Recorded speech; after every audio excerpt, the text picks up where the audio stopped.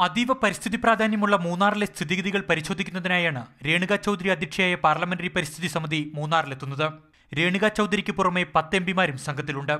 കേരളത്തിൽ നിന്നുള്ള E T Muhammad ബഷീറും സി പി നാരായണനും പരിസ്ഥിതി കമ്മിറ്റി അംഗങ്ങളാണ്. Congress B J P A A D M K B J D M പിമാരും സമിതിയിലുണ്ട്. എറണാകുളത്തെത്തുന്ന പാർലമെന്ററി സമിതി വൈകിട്ടോടെ മൂന്നാർ സന്ദർശിക്കും.